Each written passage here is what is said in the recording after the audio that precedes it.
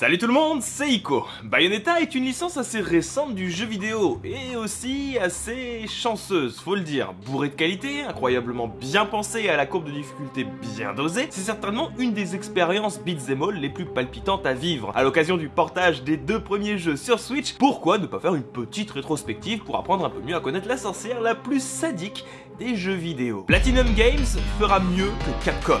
Avant de s'attaquer au premier épisode Bayonetta, je pense que ça peut être intéressant de vous faire un bref retour sur ce qu'est Platinum Games, la boîte derrière la création de la sorcière aux longs cheveux. Vous verrez, les conditions de naissance de Platinum Games sont importantes dans la suite de notre récit et il est fort probable que je vous redirige vers cette vidéo si jamais je viens parler d'un autre jeu du studio. Platinum Games donc est un studio fondé en 2007, fusion de Seeds Inc. et de Odd Inc. La première boîte fut fondée par des développeurs de renom comme Shinji Mikami, Hideki Kamiya, qui nous intéresse tout particulièrement particulièrement ici, et Yusuke Hashimoto. Des noms qui ne vous disent peut-être rien, mais retenez une chose, ce sont des anciens de chez Capcom, pères de licences comme Resident Evil, Devil May Cry, Beautiful Joe, qui ont fait partie de Clover Studio et qui ont assez mal digéré leur dissolution des suites des ventes affreuses d'Okami. Promis, promis, celui-là on en parlera un jour. Odd Inc, quant à lui, est un studio qui a été fondé par Tatsuya Minami, un ex-producteur de, je vous le donne en mille, Capcom. Quoi de mieux qu'une rancune commune pour botter des fesses, hein? Quoi de mieux qu'une Dream Team de ouf pour expliquer à Capcom comment est-ce qu'on fait de bons jeux. Et bah c'est dans cet esprit-là que va germer Bayonetta dans la tête de Hideki Kamiya, un Devil May Cry en mieux et sans émo dedans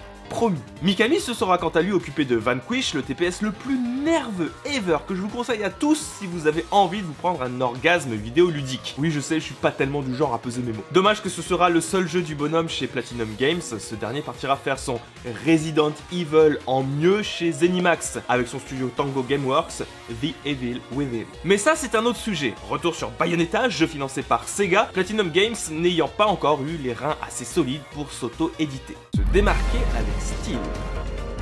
Bayonetta, c'est un petit peu la suite spirituelle de Devil May Cry. Beaucoup de ressemblances sont à noter entre les deux jeux, que ce soit dans la nervosité du gameplay, les combos longs et exigeants, la difficulté qui peut s'avérer assez corsée, cependant, Bayonetta n'est pas un simple DMC. Ce serait assez violent d'en venir à cette conclusion, et ne ferait pas honneur à tout le travail créatif qu'il y a derrière. Le design de Bayonetta d'abord, qui a été réalisé par Mari Shimazaki, est quant à lui le résultat d'une demande assez simple de Hideki Kamiya en trois points. Il faut une femme forte, une sorcière moderne, et attention, qui utilise 4 flingues. Rien de plus, Rien de moins pour lancer Marie sur le design et convenir d'une forme quasi définitive, à cela près que Camilla va rajouter STP, mais lui des lunettes. Sans plus de précision, Marie pensera d'ailleurs qu'il s'agit d'un fantasme du concepteur en se moquant un petit peu. Une fois le Kara design au point, encore faut-il la modéliser. Ce sera le travail de Keinichiro Yoshimura. C'est lui qui s'est occupé de la plastique en 3D, de sa démarche langoureuse, de sa tenue composée à 100% de ses cheveux et même de son maquillage, même s'il confesse ne rien y connaître du tout en make-up, laissant la lourde tâche de trouver des couleurs harmonieuses à Mari Shimazaki. Cette volonté de faire de Bayonetta un, je cite, symbole de féminité, va avoir un impact sur tout le jeu, des environnements au gameplay lui-même. Pour ce qui est du monde dans lequel la belle va évoluer, il a été planifié par Ikumi Nakamura qui, tiens, bah, c'est surprenant, a déjà bossé avec Kamiya sur Okami. Le but est alors de créer un environnement opposé à l'image véhiculée par Bayonetta, sans aller jusqu'à parler de masculinité, hein, attention. Les environnements sont froids, donnent une impression d'espace beaucoup plus grand et ont un style gothique très marqué de sorte que Bayonetta paraisse être l'ennemi des décors eux-mêmes. La sensation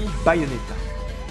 Côté gameplay, on retrouve pas mal d'idées d'un Devil May Cry, mais la sauce Bayonetta change tout. Verrouiller un ennemi fait apparaître une bouche maquillée, la sorcière peut se métamorphoser en divers animaux pour acquérir certaines compétences, par exemple la panthère pour courir plus vite ou les ailes de papillon pour planer. Les finish moves, quant à eux, ou attaques sadiques vont encore plus loin de ce côté-là, puisque allie une volonté de sexualiser outrance Bayonetta, tout en rappelant qu'on parle bien de sorcière. Hein. Les objets invoqués ne sont pas des outils de domination, c'est des instruments de torture qui ont vraiment existé lors de chasse aux sorcières. Enfin, lorsque notre héroïne invoque son démon de l'Umbra, celui-ci sera composé des cheveux de la dame, ce qui, si vous avez bien suivi de quoi est faite sa tenue, la mettra plus ou moins à poil. L'histoire de Bayonetta, quant à elle, se passe dans un monde où la magie existe. Bon, hein, je préviens pour ceux qui n'auraient pas fait le jeu, je vais légèrement vous en spoiler le synopsis. Mais je n'irai pas bien loin, rassurez-vous. Les éléments clés de l'intrigue, je vous laisse les découvrir par vous-même. Notre sorcière y est une des dernières à maîtriser les arcanes de l'Umbra, une magie démoniaque, ce qui explique explique plus ou moins pourquoi elle se fait harceler par des anges. Au début, on nous dit qu'elle fait ça pour survivre, mais en réalité, on n'en sait trop rien. Bayonetta n'a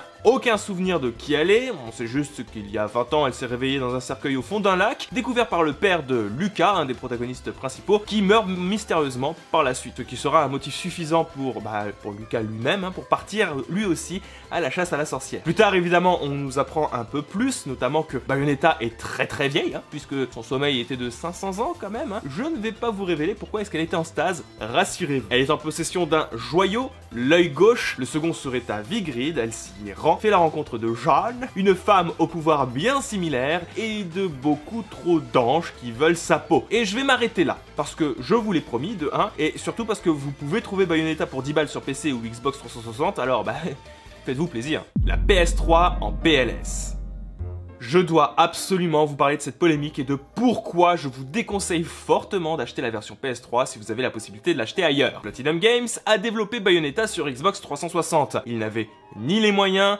ni franchement l'envie de porter le jeu sur la console de Sony, qui, il faut le rappeler quand même, souffrait à l'époque d'une sacrée image auprès des développeurs. Porter le jeu sur la console était un vrai casse-tête, et les joueurs de PS3 se retrouvent toujours avec une version inférieure. La faute à l'architecture de la console rendant son portage infiniment trop compliqué. Du coup, bah, Sega confie Bayonetta à un autre studio, parce que Platinum Games, bah, ils, sont bons certes, hein, mais un petit peu prétentieux, on va pas se mentir, hein. quand c'est non, c'est non. C'est donc Next Entertainment, filiale de Sega, qui s'occupera du portage et ce sera plus ou moins désastreux. Chute de framerate assez violente, couleur terne, résolution bien en deçà de ce qu'il y avait sur Xbox 360, sans parler des temps de chargement affreusement longs. Temps de chargement qui, fort heureusement, seront mis à jour, permettant l'installation du jeu sur le disque dur de la console. Dites-vous bien que le tollé était tellement violent que les versions PS3 étaient carrément moins bien notées par la presse que les versions 360. Autant vous dire que Platinum Games avait le bon somme des familles. Je classais sans suite,